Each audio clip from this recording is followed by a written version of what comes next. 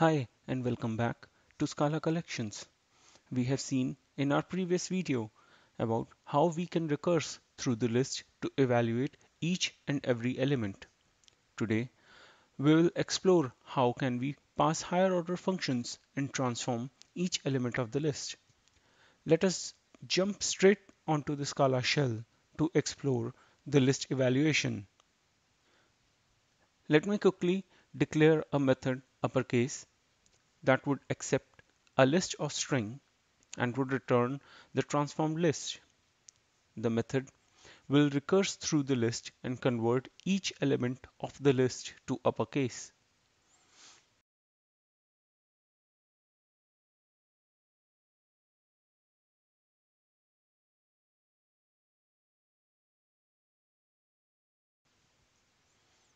I'll declare a new list of months.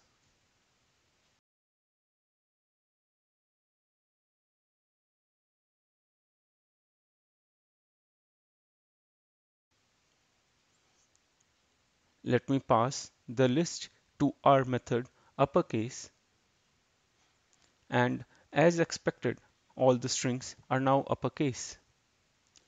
But Scala has an easier way to transform the list and that is to use map. Similar to our previous uppercase method, map will accept a higher order function and that is to uppercase and will convert each and every string to uppercase. Let us see how map can be used.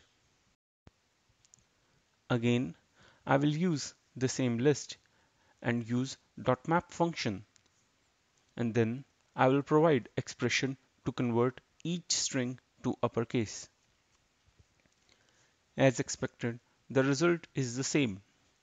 Another advantage of using map function is that we can chain map functions for continuous transformations. So let us now create short abbreviations for all the months. This time I will write the same expression along with substring map function.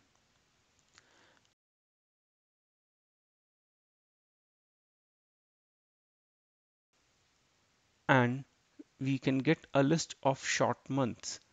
Thus, we are able to escape the tedious recursion with an easy map expression. Now let us move on and have a look at another example.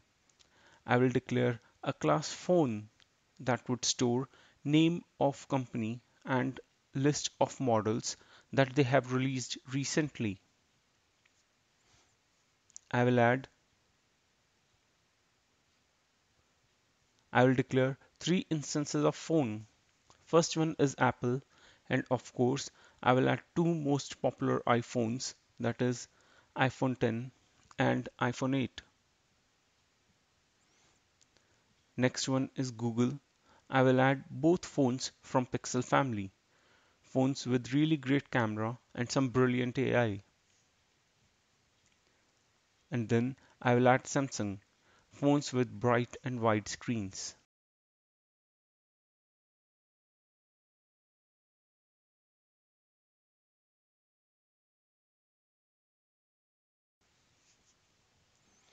And finally, I will create a phone list with all the phones that we have just created. Now, let us try to fetch all the models that we have added and as expected, I will use map function. Oops. But that is not what we want, a list of lists. We are interested in list of model. To enable us to achieve the same result, Scala list have another useful function and that is flatmap. Let us use flatmap instead of map and observe the result. And indeed, that is what we want. So flatmap has flattened list of list into one list.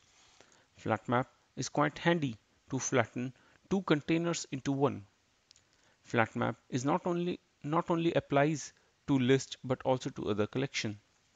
Let us have a look at another example. I will try and find out all the multiples of 3 but in quite in a different way. I will declare a new function is factor of 3 that would accept an integer. We will divide this incoming integer with 3 and if the number is a whole number then we'll return some number but if the result of division is, is not a whole number then we'll return none. I will try and fetch all the multiples of 3 for first 10 integers. And let us first try to use map.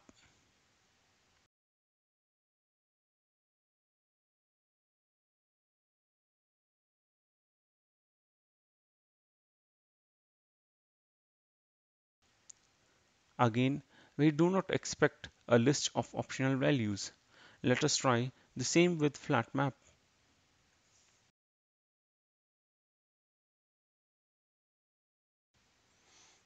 And as we can observe that this time we are able to flatten the list of optional values.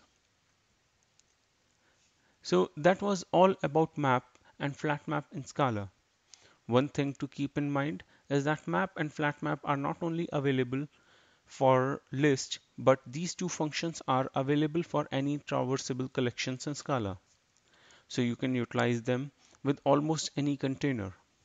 I think map and flat map are the most widely used functions to transform the collections.